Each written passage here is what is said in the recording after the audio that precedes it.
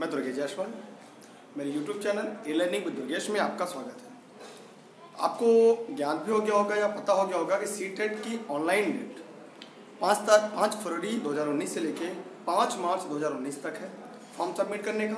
उसके बाद सात जुलाई को निश्चित तिथि पहले से है, जिस डेट पे परीक्षा होनी है तो नोटिफिकेशन आ चुका है। और अब सभी अभ्यर्थियों के अंदर अब तैयारी करने के लिए या पढ़ने के लिए अब कहीं ना कहीं एक जिज्ञासा आ गई होगी और आप पढ़ना भी चाह रहे होंगे। तो पढ़ते समय बहुत सारे प्रश्न हमारे दिमाग में आ जाते हैं। क्या पढ़ें?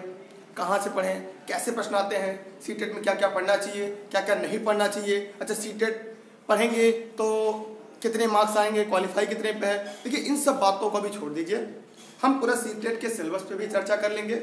और मैं आपको बताऊँ कि सी किसी भी कोचिंग संस्थान में, किसी भी कोचिंग की बात करूँ, मैं किसी की कुछ इक्का दुक्का छोड़ के कहीं भी सीटेट नहीं पढ़ाया जाता। क्योंकि वास्तव में जो सीटेट होता है, पूरा मनोविज्ञान पे ही केंद्रित होता है। और मनोविज्ञान में भी कि एक अध्यापक का, एक अध्यापक कक्षा के अंदर किस तरह से बिहेव करेगा, कौन सा एनवायरनमेंट बनाएगा, कौन सा संस्कृति पे होगी, कौन सा कल्चर होगा तो उसी के बीच अगर आप संबंध को समझ जाते हैं जैसे आपने स्किनर को पढ़ा पॉलॉ को पढ़ा, कोलवर को पढ़ा तो इन सबको पढ़ने के बाद थांडाइक को पढ़ा, इनको पढ़ने के बाद जो इनकी थियोरी है, वो सीधे सीधे सीटेड में नहीं पूछते। वो ये पूछते हैं, इनका प्रयोग आप बालकों के ऊपर कैसे करेंगे? आप चाहे बीटीसी हो, चाहे बीएड हो, या अन्य दो वर्षीय प्रशिक्षण आपने अगर लिया हो, दो या चार वर्षीय प्रशिक्षण लिया हो तो इस प्रशिक्षण के दौरान आपने बच्चों को पढ़ाने के लिए क्या क्या विधियाँ सीखी एक कक्षा में एक अध्यापक का एक बालक के बीच जो संबंध होता है, यह संबंध अगर आप क्लियर कर लेते हैं तो सी टेट क्वालिफाई करने से आपको कोई नहीं दे सकता। और रही बात नोट्स की तो नोट्स वगैरह देखिए, ये अपने आप को छलावा है या आपको छलावा है? ये हकीकत है। मैं भी नोट्स दूँगा, आप प्रेशर करें तो मैं आपको नोट्स दूँगा। और मेरे यहाँ भी क्लास चलती है ऑनलाइन ऑफलाइन दोनों चलती है। लेकिन वास्तविकता ये है कि सी टेट में वही पढ़ाया जाता है, वही मैं पढ़ाता भी हूँ, जो परीक्षा में हूबहू पूछे जाते हैं। कहने का मतलब यह है कि सीटेट में रट्टा मार के आप सीटेट क्वालिफाई नहीं कर सकते।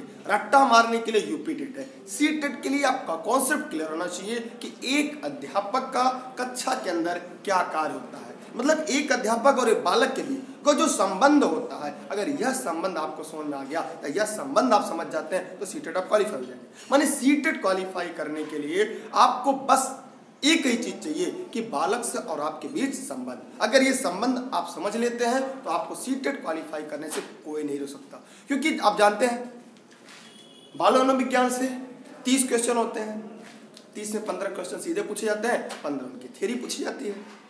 पर्यावरण में भी तीस क्वेश्चन होते हैं, उसमें भी पंद्रह क्वेश्चन पर्यावरण से पूछे जाते हैं, पंद्रह क्या होती है? आपका शिक्षा शास्त्र होता है। लेकिन अगर ओवरऑल देखेंगे, तीस के तीसों शिक्षा शास्त्र पे ही आधारित होती है। फिर गणित में भी आते हैं पंद्रह क्वेश्चन पंद्रह शिक्षा शास्त्र पे। फिर लैंग्वेज में आते हैं। अगर लैंग्वेज प्रथम आपने हिंदी चयन किया है। तो हिंदी में भी पैसेज और फिर आपका शिक्षा शास्त्र।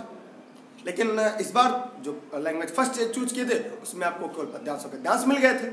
सेकेंड लैंग्वेज आपने इंग्लिश या संस्कृत चूज़ किया। तो उन दोनों में से भी, उन दोनों में भी आप चाहे लैंग्वेज फ़र्स्ट या सेकेंड अगर सेकेंड आपने अंग्रेज़ी या संस्कृत चूज़ किया है तो उसमें भी आपको पैसेज मिल गए। लेकिन उसमें भी आपको शिक्षा शास्त्र के क्वेश्चन मिलेंगे और सॉल्व भी करने पड़ेंगे। तो कहीं ना कहीं एक अच्छी रणनीति और एक अच्छी तैयारी के साथ चलेंगे तो मात्र 45 दिन 45 दिन की कड़ी मेहनत से आप सी टेट आसानी से क्वालिफाई कर सकते हैं। यह बहुत बड़ी बात नहीं है। अब विश्वास नहीं करेंगे, मैंने एक दिन भी नहीं पढ़ा था, लेकिन मैं सी टेट क्वालिफाई हूँ। और मेरे यहाँ लगभग शत प्रतिशत रिज़ल्ट था। अब मेरे यहाँ जितने भी बच्चे थे, जो भी मुझसे जुड़े हुए थे, अगर कभी कोई मिले तो आप पूछिएगा कि सब भी क्वालिफाई जितने लड़के थे, सब क्वालिफाई और ज्योति मैम को आपने देखा ही होगा, उनकी वीडियोज़ पड़े हैं, आप देख लीजिएगा। उसमें से भी एनसीएफ 2005 अगर आपको समझ में आ जाता है तो आप आसानी से क्वालिफाई कर जाते हैं। फिर भी, अगर आप जौनपुर जनपद में हैं तो टीडी कॉलेज गेट के पास आइएगा, अनुपम रेस्टोरेंट के बगल में। हमारी संस्थान है। अगर आप ऑनलाइन करना चाहते हैं तो ऑनलाइन भी ज्वाइन कर सकते हैं। और ये ग्यारह तारीख से मैं बैच शुरू करूँगा। अभी आप लोग फॉर्म भरिए। ग्यारह फरवरी से मेरी ऑनलाइन ऑफलाइन दोनों क्लासेस शुरू होंगी। अगर आप एडमिशन चाहते हैं तो एडमिशन ले सकते हैं। और एडमिशन के लिए आप को join Z J O I N join CTET join C CTET लिखकर भेजना है।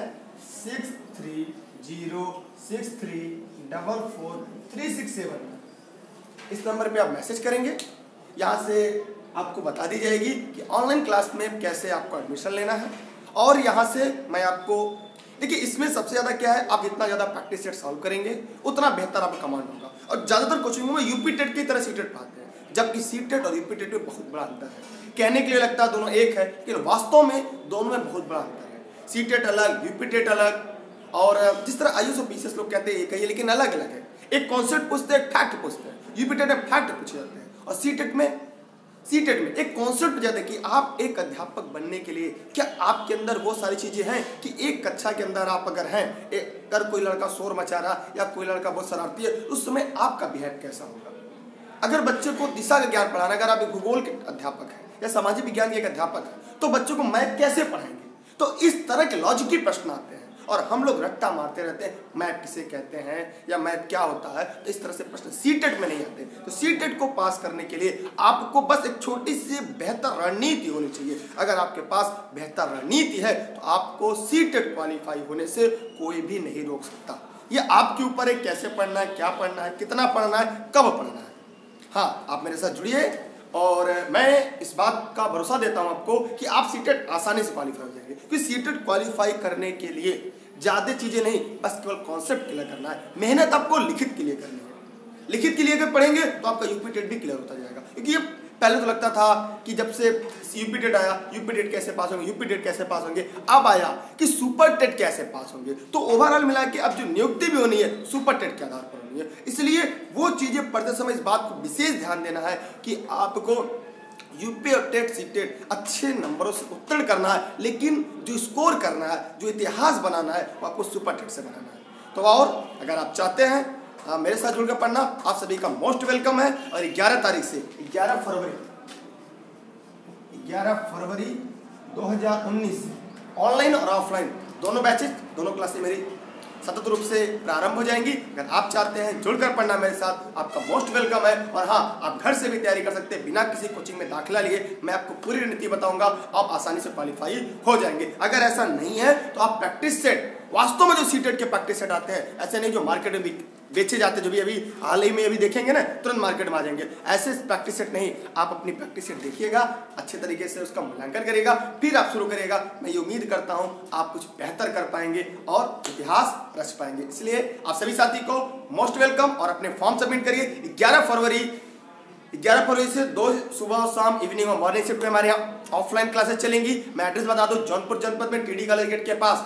अनुपम रेस्टोरेंट के जस्ट बगल में वेद कॉन्वेंट स्कूल। यहाँ पे मेरी ऑफलाइन क्लास चलेगी। ऑनलाइन आप कहीं से घर बैठे आप पढ़ सकते हैं और प्रैक्टिस सेट सॉल्व, नोट्स सबको, सब कुछ आपको अवेलेबल होगा। लेकिन मैं फिर बताऊँगा कि आप बिना किसी कोचिंग में, बिना किसी नोट्स के भी क्वालिफाई हो सकते हैं। एक अच्छी रणनीति ज़रूरत है। अगर आपने क्लियर कर लिया तो आपको सीटेड पास होने से कोई नहीं रह सकता। अगर आपको मेरी बात असत्य लगती है तो पुराने जो भी व्यक्ति सीटेड क्वालिफाई हो, उनसे जरा पूछ लीजिएगा कि कोचिंग से पढ़ाया हुआ कितना क्वेश्चन सर फंसा, या कितने क्वेश्चन कोचिंग के पढ़ाए हुए हैं? वास्तव में स्व विवेक से जो आपने पढ़ा, उसी का जो स्व विवेक उस समय परीक्षा के समय आपका काम करेगा, उसी के आधार पर आप सीटेड उत्तीर्ण होंगे। अन्यथा, अगर आपका स्व विवेक कार्य नहीं किया सीटेड उत्तीर्ण नहीं होंगे। और सीटेड अगर एक बार उत्तीर्ण हो जाते हैं यूपीटेड की ज़्यादा दिक्कत नहीं है, क्योंकि सीटेड सात साल के लिए वैलिड होता है, जबकि यूपीटेड पाँच वर्ष के लिए वैलिड वैलिड होता है। इसलिए आपके सामने सबसे बड़ी जो चुनौती है सीटेड और सीटेड आप आसानी से पास कर सकते हैं। बस थोड़ी सी रणनीति सही करिएगा, मैं आपके साथ रहूँगा और आप ज़रूर क्वालिफाई करेंगे।